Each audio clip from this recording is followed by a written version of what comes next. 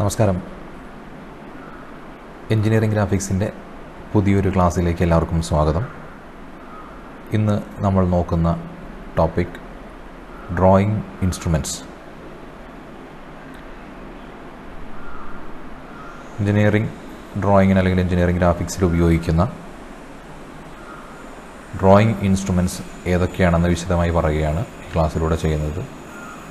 ഒരു പകുതിയോളം ഇൻസ്ട്രുമെന്റ്സ് ഈ വീഡിയോയിലും. ബാക്കി പകുതി അടുത്ത വീഡിയോയിലുമായിട്ടാണ് ചെയ്തിരിക്കുന്നത്. ഓക്കെ.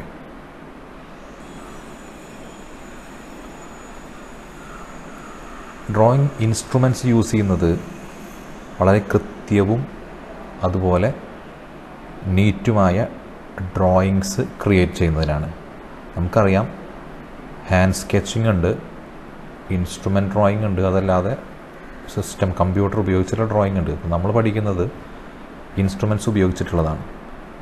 ഇൻസ്ട്രുമെന്റ് ഉപയോഗിച്ച് ഡ്രോയിങ്സ് ചെയ്താലാണ് അത് കൃത്യവും നീറ്റായിട്ടുള്ളൂ പിന്നെ അതിലും അഡ്വാൻസ്ഡ് ആയ കമ്പ്യൂട്ടർ ഉണ്ട്. പക്ഷെ നമ്മൾ പറഞ്ഞ പോലെ ബേസിക് പഠിക്കുമ്പോൾ നമ്മൾ ഡ്രോയിങ് ഇൻസ്ട്രുമെന്റ്സ് ഉപയോഗിച്ച് ചെയ്യുന്നു. ആദ്യകാലങ്ങളിലും ചെയ്തിരുന്നത് ഇതാണ്. അപ്പോൾ ഇൻസ്ട്രുമെന്റ്സ് നല്ല ഇൻസ്ട്രുമെന്റ്സ് ഉണ്ടെങ്കിൽ നമുക്ക് വളരെ എളുപ്പത്തിൽ കൃത്യതയോടുകൂടിയ ഡ്രോയിങ്സ് ഉണ്ടാക്കാം. അതുകൊണ്ട് തന്നെ പലതരത്തിലുള്ള ഡ്രോയിങ് ഇൻസ്ട്രുമെന്റ്സ് അതുപോലെ അവിടെ ഉപയോഗിക്കുന്ന മെറ്റീരിയൽസ് അതെങ്ങനെ യൂസ് ചെയ്യണം എന്നൊക്കെ ഡ്രോയിങ് തുടങ്ങുന്നതിന് മുമ്പ് പഠിക്കുന്നത് വളരെ ഇമ്പോർട്ടന്റ് ആണ്.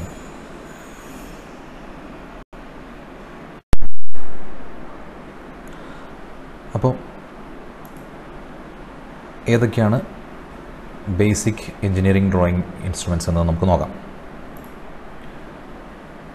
ആദ്യത്തെ ഒന്ന് ഡ്രോയിങ് ബോർഡ് രണ്ട് ഡ്രോയിങ് പേപ്പർ അല്ലെങ്കിൽ sheet T square mini drafter set square engineers scale protractor French curve pencil compass dividers erasing shield ഇതൊക്കെയാണ് ബേസിക് ആയിട്ടുള്ള എഞ്ചിനീയറിംഗ് ഡ്രോയിങ് ഇൻസ്ട്രുമെന്റ്സ്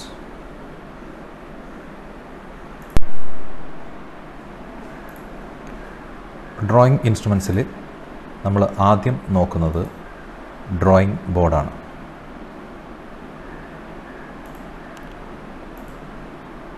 ഇവിടെ അതിന്റെ ഒരു ഇമേജും അതുപോലെ പാർട്സ് അടയാളപ്പെടുത്തിയിട്ടുള്ള വേറൊരു ഡയഗ്രാംസും നിങ്ങൾക്ക് കാണാനുണ്ട്. ഇതാണ് ഇതിന്റെ ഫ്രണ്ട് സൈഡ് എന്ന് പറയുന്നത് ഇത് ബാക്ക് സൈഡാണ് ഇവിടെ കാണിച്ചിരിക്കുന്നതും ഡ്രോയിങ് ബോർഡിന്റെ ബാക്ക് സൈഡാണ്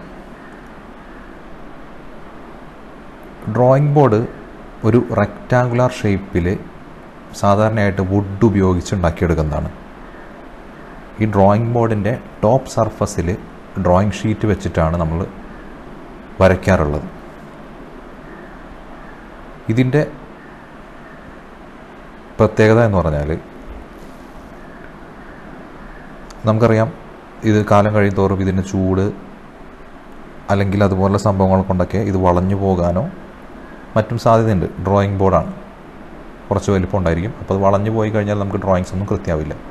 അത്തരത്തിലുള്ള കാര്യങ്ങളൊക്കെ ഒഴിവാക്കാനായിട്ട് ഇത് ഒരു സിംഗിൾ പീസിൽ നിർമ്മിച്ചെടുക്കാതെ നാലോ ആറോ സ്ട്രിപ്പുകളായിട്ടാണ് ഇവിടെ സ്ട്രിപ്പ് എന്ന് മാർക്ക് ചെയ്ത് കാണാം. നാലോ ആറോ സ്ട്രിപ്പുകളായിട്ടാണ് ഡ്രോയിങ് ബോർഡ് നിർമ്മിക്കുന്നത്. അതിവിടെ ടങ് ആൻഡ് ഗ്രൂ ജോയിൻസ് ഉപയോഗിച്ച് ഒന്നിന്റെ ഉള്ളിലേക്ക് ഒന്ന് കയറി നിൽക്കുന്ന പോലത്തെ ജോയിൻസ് ആണത്. അതുപയോഗിച്ച് ഓരോ സ്ട്രിപ്സും തമ്മിൽ ജോയിൻ ചെയ്തിട്ടുണ്ടാകും. അതുകൂടാതെ രണ്ട് ബാറ്റൻസ് ഡ്രോയിങ് ബോർഡിന്റെ പുറകിലായിട്ട് ഇതെല്ലാം കൂടി ചേർത്ത് നിർത്തുന്ന ഉറപ്പ് നൽകുന്നതിന് വേണ്ടി നൽകിയിട്ടുണ്ടാവും. ഇതിന് ഒരു സ്ലോട്ടഡ് ഗ്രൂവിന്റെ ഉള്ളിൽ സ്ക്രൂ നൽകിയിട്ടുണ്ടാവും. സ്ലോട്ടഡ് കൊടുക്കാൻ കാരണം ഇതിന് ഏതെങ്കിലും തരത്തിലുള്ള ഈ സ്ട്രിപ്പുകൾക്ക് ഏതെങ്കിലും തരത്തിലുള്ള എക്സ്പാൻഷൻസ് കാലങ്ങൾ കൊണ്ട് സംഭവിക്കുമ്പോൾ അഡ്ജസ്റ്റ് ചെയ്യാൻ വേണ്ടിയിട്ടാണ്. അതുപോലെ തന്നെ ഡ്രോയിങ് ബോർഡിന്റെ ബാക്ക് സൈഡിലുള്ള ഈ രണ്ടെണ്ണത്തിന്റെ ഗ്യാപ്പിൽ സോ കട്ട് കൊടുത്തിരിക്കും. അതും ഇതുപോലെ എക്സ്പാൻഷനോ മറ്റോ സംഭവിക്കുമ്പോൾ അത് അഡ്ജസ്റ്റ് ചെയ്യാൻ വേണ്ടിയിട്ടാണ്. ഇനി ഡ്രോയിങ് ബോർഡിന്റെ ലെഫ്റ്റ് എഡ്ജ് ഒരു ഗ്രൂ നൽകിയിരിക്കും. സാധാരണയായിട്ട് ടി സ്ക്വയർ ഉപയോഗിക്കുന്ന കാലത്ത് ആ ടി സ്ക്വയറിന്റെ ബ്ലേഡ് ഈ ഗ്രൂവിൽ ഇവിടെ സഞ്ചരിക്കും സഞ്ചരിച്ചിട്ടാണ് നമുക്കത് ഈസി ആയിട്ട് വരയ്ക്കാൻ കഴിയുന്നത്. ഓക്കെ ഡ്രോയിങ് ബോർഡുകൾ ഡിഫറെന്റ് സൈസിൽ അവൈലബിൾ ആണ്. അതിന്റെ ഡെസിഗ്നേഷനാണ് ഇവിടെ നൽകിയിരുന്നത് സാധാരണയായിട്ട് അതിന് ഡെസിഗ്നേഷൻ പറയുന്നത് D zero D one D two D three എന്നുള്ള രീതിയിലാണ്. അതിന്റെ ലെങ്ത്തും വിടുത്തുമാണ് ഇവിടെ നൽകിയിരിക്കുന്നത്. ഡി സീറോ എന്ന് പറയുന്ന ഡ്രോയിങ് ബോർഡിന്റെ സൈസ് ആയിരത്തഞ്ഞൂറ് ഇന്റു ആയിരമാണ് എം എമ്മിലാണ് പറയുന്നത്. ഡി വണ്ണ് സൈസ് ആയിരം ഇന്റു എഴുന്നൂറാണ് ലെങ്ത്തും വിടുത്തും എം എമ്മിലാണ് അവിടെ പറയുന്നത്. ഡി ടു എഴുന്നൂറ് ഇന്റു അഞ്ഞൂറ് ഡി ത്രീ അഞ്ഞൂറ് ഇന്റു അഞ്ഞൂറ്. ഇതാണ് ഡ്രോയിങ് ബോർഡിന്റെ സൈസ് കൂടാതെ ഓരോ ഡ്രോയിങ് ബോർഡിലും എല്ലാ ഡ്രോയിങ് ഷീറ്റുകളും ഉപയോഗിക്കാൻ കഴിയില്ല. ഡ്രോയിങ് ഷീറ്റുകൾക്കുമുണ്ട് സൈസ് അത് ഡീറ്റെയിൽ ആയിട്ട് ഡ്രോയിങ് ഷീറ്റ് പറയുമ്പോൾ പറയുന്നതാണ്. ഇനിയിപ്പോൾ ഡി സീറോ ഡെസിഗ്നേഷനിലെ ഡ്രോയിങ് ബോർഡിൽ നമുക്ക് എ സീറോ സൈസ് ഉപയോഗിക്കാം. ഡി സീറോ സൈസിൽ നമുക്ക് ഈ എല്ലാ ഷീറ്റുകളും ഉപയോഗിക്കാം. കാരണം ഡി സീറോ ആണ് ഏറ്റവും വലുത്. പക്ഷേ എ സീറോയ്ക്കാണ് ശരിക്കും ഡി സീറോ റെക്കമെൻഡ് ചെയ്തിരിക്കുന്നത്. ഡി വൺ ഡ്രോയിങ് ബോർഡ് ഉപയോഗിക്കുന്നത് എ വൺ ഡ്രോയിങ് ഷീറ്റിന് വേണ്ടിയിട്ടാണ്. അതിന് താഴെയുള്ള സൈസുകളൊക്കെ ഡി വണ്ണിൽ വരയ്ക്കാം നേരത്തെ പറഞ്ഞ പോലെ. ഡി ടു സൈസാണ് എ ടു ഡ്രോയിങ് ഷീറ്റിന് ഉപയോഗിക്കുന്നത്. അതുപോലെ D three drawing board A three drawing ഷീറ്റിന് വേണ്ടി ഉപയോഗിക്കുന്നു. അപ്പോൾ ഇതിന്റെ സൈസും കാര്യങ്ങളും ആണ് പറഞ്ഞിരിക്കുന്നത്. പിന്നെ ഓരോ ഡ്രോയിങ് ബോർഡും ഓരോ അതിന് കറസ്പോണ്ടിങ് ആയിട്ടുള്ള ഡ്രോയിങ് ഷീറ്റുമാണ് ഇവിടെ പറഞ്ഞിരിക്കുന്നത്. ഇവിടെ താഴെ പറഞ്ഞു നോക്കിയാൽ ഡി സീറോയും ഡി വണ്ണും ഡ്രോയിങ് ഓഫീസുകൾക്കാണ് ഉപയോഗിക്കുന്നത്. അതായത് വലിയ ഡ്രോയിങ് ഷീറ്റുകൾ. സാധാരണ സ്റ്റുഡൻസിന് നമ്മൾ ഉപയോഗിക്കുന്നത് ഡി ടു ആണ്. അതിന് കാരണം സ്റ്റുഡൻസിന് പഠിക്കുന്നതിന് വേണ്ടി നമ്മൾ ഉപയോഗിക്കുന്ന ഡ്രോയിങ് ഷീറ്റിന്റെ സൈസ് എ ടു ആണ്. അപ്പോൾ എ ടുവിന് കറസ്പോണ്ടിങ് ആയിട്ടുള്ള ഡി ടു ഡ്രോയിങ് ബോർഡാണ് നമ്മൾക്ക് ആവശ്യം.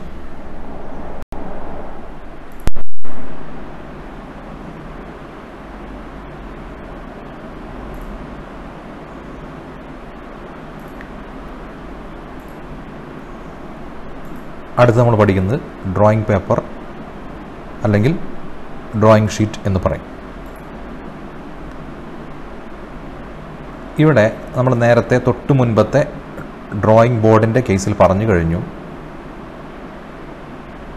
പല തരത്തിലുള്ള പല സൈസിലുള്ള ഡ്രോയിങ് ഷീറ്റുകളുണ്ട് ഏറ്റവും വലുത് എ സീറോ പിന്നീട് A one A two A three A four എന്ന രീതിയിൽ പോകുന്നു. ഒന്നിന്റെ പകുതി വലിപ്പമാണ് അതിന്റെ തൊട്ട് താഴെയുള്ളത് ഉണ്ടാകുന്നത്. അതായത് എ സീറോന്റെ പകുതി വലുപ്പമേ എ വണ്ണിനുണ്ടാവുള്ളൂ അതിന്റെ പകുതി വലുപ്പമേ എ ടു ഷീറ്റിനുണ്ടാവുകയുള്ളൂ. ഓക്കെ ആ രീതിയിലാണ് ഇതിന്റെ സൈസ് പോകുന്നത്. അപ്പോൾ ഇതിന്റെ ഈ ഡെസിഗ്നേഷൻ അനുസരിച്ച് ഇത് പല സൈസാണ് ഇതിനുള്ളത്. നമ്മളിവിടെ കണ്ടു കഴിഞ്ഞു A zero A one A two A three A four ഇതിൽ ഡ്രോയിങ് ബോർഡിന്റെ കേസിൽ പറഞ്ഞപ്പോൾ നിങ്ങൾ ശ്രദ്ധിച്ചിരുന്നു. എ ടു സൈസാണ് നമ്മൾ സ്റ്റുഡൻസ് പഠിക്കുന്നതിന് വേണ്ടി ഉപയോഗിക്കുന്ന ഡ്രോയിങ് ഷീറ്റ് ഓക്കെ അപ്പോൾ അതിന്റെ എല്ലാത്തിന്റെയും സൈസാണ് ഇവിടെ കാണിച്ചിരിക്കുന്നത്. എ ഫോറിന്റെ സൈസ് ഇരുന്നൂറ്റി പത്ത് ഇന്റു ഇരുന്നൂറ്റി തൊണ്ണൂറ്റി ഏഴ് എം എം ആണ്. തൊട്ട് മുകളിലുള്ള സൈസ് എ ത്രീ ആണ് ഇരുന്നൂറ്റി തൊണ്ണൂറ്റി ഏഴ് ഇന്റു നാനൂറ്റി ഇരുപത് മുകളിലോട്ട് പോകും തോറും സൈസ് കൂടിക്കൂടി കൂടി വരും. നമ്മൾ ഇത് എഴുതുമ്പോൾ ഇവിടെ നോക്കിക്കഴിഞ്ഞാൽ കാണാം ഇരുന്നൂറ്റി പത്ത് ഇന്റു ഇരുന്നൂറ്റി തൊണ്ണൂറ്റിയേഴ് ഈ ഇരുന്നൂറ്റി തൊണ്ണൂറ്റിയേഴാണ് ഇവിടത്തെ സ്റ്റാർട്ടിങ്. അല്ലേ? നോക്കിക്കഴിഞ്ഞാൽ കാണാം. അത് ഈ സൈസിന്റെ ഇതിന്റെ ബന്ധം തന്നെയാണ്? ഒന്നിന്റെ പകുതിയായി ഇതിന്റെ നീളം വീതിയും തമ്മിൽ ബന്ധപ്പെട്ട് കിടക്കുന്നുണ്ട്. അതുകൊണ്ടാണ് സൈസ് ഇങ്ങനെ വരുന്നത്. ഇരുന്നൂറ്റി പത്തിന്റെ ഇരുന്നൂറ്റി തൊണ്ണൂറ്റിയേഴ് എ ഫോർ അടുത്ത് സ്റ്റാർട്ട് ചെയ്യുന്നത് ഇരുന്നൂറ്റി തൊണ്ണൂറ്റിയേഴാണ് ഇരുന്നൂറ്റി തൊണ്ണൂറ്റിയേഴ് ഇന്റു നാനൂറ്റി ഇരുപത് ഈ നാനൂറ്റി ഇരുപത് എന്ന് പറഞ്ഞാൽ ഈ ഇരുന്നൂറ്റി പത്തിന്റെ ഡബിളാണ് അത് ആ ഫിഗറും കൂടെ നോക്കിക്കഴിഞ്ഞാൽ നിങ്ങൾക്ക് മനസ്സിലാവും. ഒന്നിന്റെ നീളവും അടുത്തതിന്റെ വീതിയും തമ്മിലുള്ള ബന്ധമുണ്ട്. അല്ലേ? അങ്ങനെ തന്നെ പോകുന്നു. ഇവിടെ ഇരുന്നൂറ്റി തൊണ്ണൂറ്റി ഏഴ് ഇന്റു നാനൂറ്റി ഇരുപത് എ ത്രീ സൈസ് പറഞ്ഞു. ഈ നാനൂറ്റി ഇരുപതാണ് ഇവിടെ സ്റ്റാർട്ടിങ് എ ടുവിന്റെ നാനൂറ്റി ഇരുപത് ഇന്റു അഞ്ഞൂറ്റി നാല് ഈ അഞ്ഞൂറ്റി തൊണ്ണൂറ്റി നാല് എന്ന് പറയുന്നത് ഇതിന്റെ ഡബിളാണ് ഇരുന്നൂറ്റി തൊണ്ണൂറ്റി ഏഴിന്റെ ഡബിളാണ് അപ്പോൾ ഇതാണ് ഡ്രോയിങ് ഷീറ്റ്. ഇതിലാണ് നമ്മുടെ ഡ്രോയിങ്ങുകളെല്ലാം നമ്മൾ വരയ്ക്കുന്നത്. വൈറ്റ് പേപ്പർ ആയിരിക്കും അതിന്റെ സൈസ് ഇത്തരത്തിലാണുള്ളത്. നമുക്കിത് എ ടു സൈസാണ് നാനൂറ്റി ഇരുപത് ഇന്റു അഞ്ഞൂറ്റി തൊണ്ണൂറ്റി നാല് എം എം മില്ലിമീറ്റർ. പിന്നെ ഡ്രോയിങ് ഷീറ്റിന്റെ അല്ലെങ്കിൽ ഡ്രോയിങ് പേപ്പറിന്റെ കാര്യം പറയുമ്പോൾ ഇതിന്റെ ലെങ്ത് ടു വിഡ്ത്ത് റേഷ്യോ എന്ന് പറയുന്നത് root two is to one ആണ്.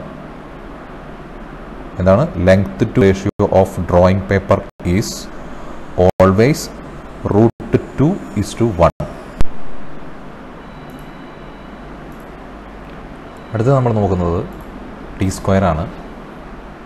ഇവിടെ ഈ ഇമേജിൽ നിങ്ങൾ കാണുന്നുണ്ടാവും ടി സ്ക്വയർ ഇത് ഡ്രോയിങ് ബോർഡിൽ ഉപയോഗിക്കുന്നത് ഇത്തരത്തിലാണ്. അപ്പോൾ അതിനുവേണ്ടി ഇതിന് പ്രധാനമായി രണ്ട് ഭാഗങ്ങളാണുള്ളത്. ഒന്ന് ഒരു ബ്ലേഡ് എന്ന് പറയുന്ന ഈ സ്കെയിലുള്ള ഭാഗം. അതുകൂടാതെ അതിന്റെ ഹെഡ് അല്ലെങ്കിൽ സ്റ്റോക്ക് എന്ന് പറയുന്ന ഒരു വർക്കിംഗ് എഡ്ജ് ഉള്ള ഭാഗം. ഇങ്ങനെ രണ്ട് പ്രധാന ഭാഗങ്ങളാണ് ഒരു ടി സ്ക്വയറിനുള്ളത്. ഇത് വുഡ് പ്ലാസ്റ്റിക് അല്ലെങ്കിൽ അക്രലിക് മെറ്റീരിയൽ തുടങ്ങിയവയൊക്കെ ഉപയോഗിച്ചാണ് നിർമ്മിക്കുന്നത്.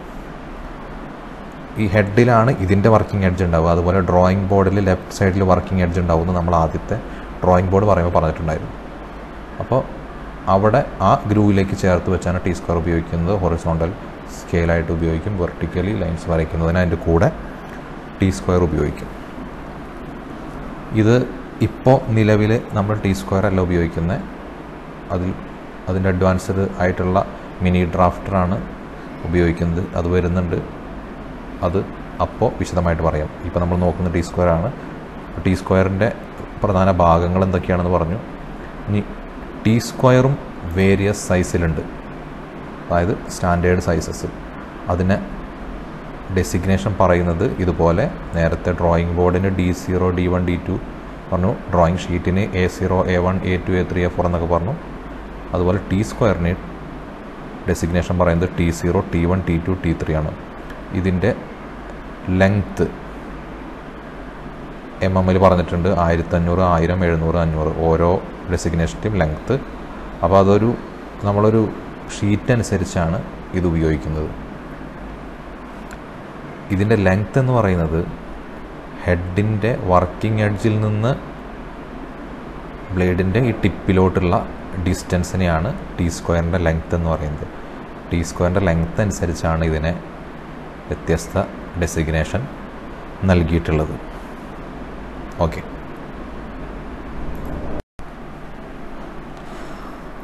അടുത്തത് മിനി ഡ്രാഫ്റ്ററാണ്. ഇവിടെ ഡ്രോയിങ് ടേബിളിന്റെ മേലെ ഡ്രോയിങ് ബോർഡിൽ ഫിക്സ് ചെയ്ത് കാണിച്ചിട്ടുള്ളതാണ് മിനി ഡ്രാഫ്റ്റർ. ഇതിനൊരു ഫിക്സിംഗ് ക്ലാമ്പ് അതുപോലെ ഒരു നയന്റി ഡിഗ്രിയിലുള്ള ഒരു വെർട്ടിക്കലും ഹൊറിസോണ്ടലും കൂടിയിട്ടുള്ള ഒരു സ്കെയിൽ അതിന്റെ സെൻട്രലായിട്ടൊരു ഇൻഡെക്സിങ് പാർട്ട് ഇതെല്ലാം ഇതിൽ കാണാം. അപ്പോൾ നമ്മുടെ ഡീറ്റെയിൽ ആയിട്ട് പറയുകയാണെങ്കിൽ രണ്ട് സ്കെയിൽ ഇൻഡെക്സിങ് പ്ലേറ്റ് അതായത് ഇവിടെ ആംഗിൾ മാർക്ക് ചെയ്തിരിക്കും. പ്രൊട്രാക്ടറിന്റെ ഉപയോഗം കൂടി നമുക്കിതിൽ നടക്കും. T square set square protractor scale തുടങ്ങി മൾട്ടി ഫങ്ഷൻസ് എല്ലാം തന്നെ മിനി ഡ്രാഫ്റ്ററിൽ നടക്കും. ഇത് ഡ്രോയിങ് ബോർഡിൽ ഫിക്സ് ചെയ്ത് ഈ പിവറ്റ് പ്ലേറ്റും ഈ പാരൽ ബാർസും കാരണം നമുക്ക് ഈസി ആയിട്ട് ഡ്രോയിങ് ബോർഡിലെ എല്ലാ വശങ്ങളിലേക്കും ഇത് നീക്കിക്കൊണ്ടുപോയി ഏത് ആംഗിളിലും ഇൻക്ലൈൻ ലൈൻസ് വരയ്ക്കാം. വെർട്ടിക്കൽ ലൈൻസ് വരയ്ക്കാം. ഹൊറിസോണ്ടൽ ലൈൻസ് വരയ്ക്കാം.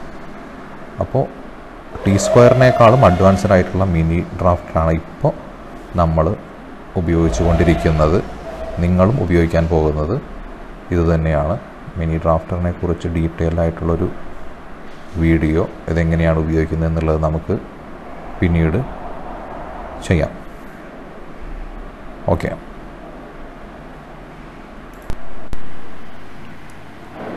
അടുത്തത് സെറ്റ് സ്ക്വയർ ആണ്.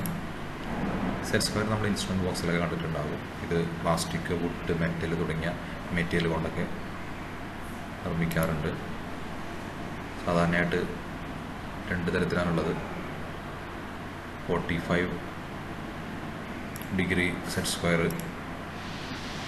അതുപോലെ തന്നെ thirty sixty degree set square ഇത് ഉപയോഗിച്ച് നമുക്ക് ഈ ഇൻക്ലൈൻ ഇത്തരത്തിലുള്ള ഈ ആംഗിളിലുള്ള ഇൻക്ലൈൻ ലൈൻസ് ഒക്കെ നമുക്ക് ഈസി ആയിട്ട് വരയ്ക്കാം. ഇനി ഇതിന്റെ ലെങ്ത്ത് അല്ലെങ്കിൽ ഇതിന്റെ സൈസ് സ്പെസിഫൈ ചെയ്യുന്നത് ഈ നയന്റി ഡിഗ്രി ഉൾപ്പെടുന്ന ഇതിന്റെ ഈ രണ്ട് സെറ്റ് സ്ക്വയർ ആയാലും ഇതിന്റെ ഒരു കോർണർ നയന്റി ഡിഗ്രി ആയിരിക്കും. ഈ നയന്റി ഡിഗ്രി ഉൾപ്പെടുന്ന ഇരുവശങ്ങളിലും ഏതാണോ ലെങ്ത്ത് കൂടുതൽ അതിന്റെ ലെങ്ത്താണ് സെറ്റ് സ്ക്വയറിന്റെ സൈസായിട്ട് സാധാരണ പറയുന്നത്. ഇപ്പോൾ forty five degree set square സാധാരണ നമ്മൾ കോമൺ ആയിട്ട് യൂസ് ചെയ്യുന്നത് ഇരുന്നൂറ് എം എം ആണ്. തേർട്ടി സിക്സ്റ്റി ഡിഗ്രി സെറ്റ് സ്ക്വയറിൽ സാധാരണ നമ്മൾ കോമൺ ആയിട്ട് യൂസ് ചെയ്യുന്നത് ടു ഫിഫ്റ്റി എം എം ആണ് ഇരുന്നൂറ്റമ്പത് എം എം ആണ്. ഇനി ഇത് ഇവിടെ കാണിച്ചിരിക്കുന്ന പോലെ ഈ ടി സ്ക്വയറിനൂടെ കൂടെ സെറ്റ് സ്ക്വയറുകൾ ഉപയോഗിച്ച് കോമ്പിനേഷൻ ഉപയോഗിച്ച് പലതരത്തിലുള്ള ഇൻക്ലൈൻ ലൈൻസ് നമുക്ക് വരയ്ക്കാൻ കഴിയും. ഇവിടെ കാണിച്ചിരിക്കുന്നത്. പതിനഞ്ച് ഡിഗ്രി മുപ്പത് ഡിഗ്രി നാൽപ്പത്തഞ്ച് അറുപത് എഴുപത്തഞ്ച് നൂറ്റിയഞ്ച് തൊണ്ണൂറ് എന്നൊക്കെ രീതിയിൽ കാണിച്ചിട്ടുണ്ട്. നോക്കിക്കഴിഞ്ഞാൽ കാണാം പതിനഞ്ചിന്റെ മൾട്ടിപ്പിൾസ് ആണ് എല്ലാം. അപ്പോൾ ഇതും കൂടെ സെറ്റ് സ്ക്വയറിന്റെ ഒരു യൂസാണ് പ്രത്യേകിച്ച് ടി സ്ക്വയർ ഉപയോഗിച്ചിരുന്ന സമയത്ത്. അടുത്ത instrument engineers scale engineers scale wood steel celluloid plastic തുടങ്ങിയ മെറ്റീരിയലൊക്കെ ഉപയോഗിച്ച് നിർമ്മിക്കുന്നു. സ്കെയിലുകൾ ഉപയോഗിക്കുന്നത് മെഷർ ചെയ്യുന്നതിനും അതുപോലെ റിലേറ്റീവ് ഡയമെൻഷൻസ് അല്ലെങ്കിൽ ട്രൂ ഡയമെൻഷൻസ് ട്രാൻസ്ഫർ ചെയ്യുന്നതിനുമാണ്. ആക്ച്വലി സ്കെയിൽ എന്ന് പറയുന്നത് ratio of the length of an object on the drawing to its actual length അതായത് ഡ്രോയിങ്ങിലുള്ള ലെങ്ത്തും ആ ഒബ്ജക്റ്റിന്റെ ആക്ച്വൽ ലെങ്ത്തും തമ്മിലുള്ള റേഷ്യോനെയാണ് ശരിക്കും സ്കെയിൽ എന്ന് പറയുന്നത്. നമ്മൾ എൻജിനീയറിംഗ് ഡ്രോയിങ്ങിൽ നമ്മൾ സാധ്യമായ രീതിയിൽ നമ്മൾ കറക്റ്റ് അളവിൽ അതിനെ ഡ്രോയിങ് ഷീറ്റിലേക്ക് പകർത്താൻ വേണ്ടി ശ്രമിക്കും ഒരു ഒബ്ജക്റ്റിനെ എന്ത് വരയ്ക്കുകയാണെങ്കിലും. പക്ഷേ ഒബ്ജക്റ്റ് സൈസും ഡ്രോയിങ് സൈസും നമുക്ക് എപ്പോഴും സെയിം ആയിട്ട് വരയ്ക്കാൻ കഴിയില്ല. കാരണം ഭയങ്കര ലാർജ് ഒബ്ജക്റ്റുകളാകുമ്പോൾ നമ്മളതിനെ ഡയമെൻഷൻ ചെറുതാക്കി ഷീറ്റിലേക്ക് കാണിക്കേണ്ടി വരും. അതുപോലെ വളരെ ചെറിയ മൈന്യൂട്ട് ഒബ്ജക്ട്സ് ആകുമ്പോൾ നമ്മളതിനൊന്ന് എൻലാർജ് ചെയ്ത് ഷീറ്റിലേക്ക് വരയ്ക്കേണ്ടി വരും കാണുന്ന രീതിയിൽ. അപ്പോൾ അങ്ങനെ എൻലാർജ് ചെയ്യുന്നതിനും റെഡ്യൂസ് ചെയ്യുന്നതിനുമെല്ലാം സ്റ്റാൻഡേർഡ് സ്കെയിൽസ് ഉണ്ട്. ഓക്കെ ഇവിടെ നോക്കി കഴിഞ്ഞാൽ കാണാം. റെഡ്യൂസിങ് സ്കെയിൽസ് എൻലാർജിങ് സ്കെയിൽസ് അല്ലെങ്കിൽ ഫുൾ സൈസ് ഫുൾ സൈസാണ് നമ്മൾ കോമൺലി യൂസ് ചെയ്യുന്നത്. വൺ ഇസ് ടു വൺ ഒബ്ജക്റ്റിലുള്ള ലെങ്ത്തും നമ്മൾ ഡ്രോയിങ്ങിൽ അതായത് ഷീറ്റിൽ വരയ്ക്കുന്ന ലെങ്ത്തും സെയിം ആയിരിക്കും. അതുകൊണ്ടാണ് ആ ratio one is to one എന്ന് പറയുന്നത്. ഈ റേഷ്യോനെയാണ് എന്ത് പറയുന്നത്? സ്കെയിൽ എന്ന് കോമണായിട്ട് പറയുന്നത്.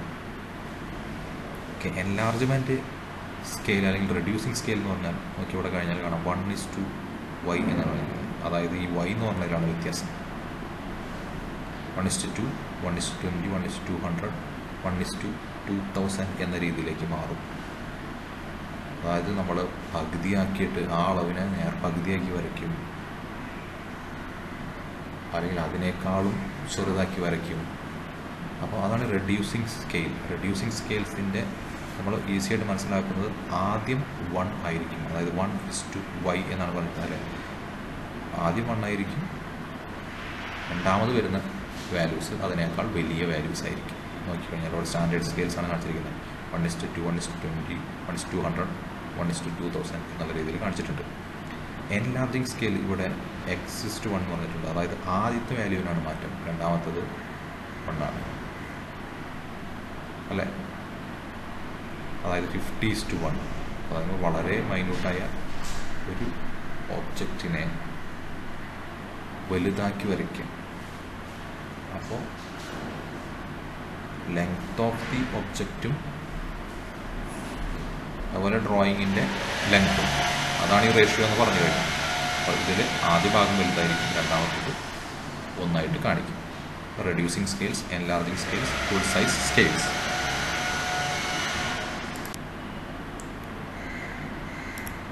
okay. കുറച്ചും കൂടെ ഇൻസ്ട്രുമെന്റ്സ് പഠിക്കാനുണ്ട്. അപ്പോൾ അത് അടുത്ത വീഡിയോ ക്ലാസ്സിലൂടെ പറയുന്നതായിരിക്കും. ഓക്കെ. Thank you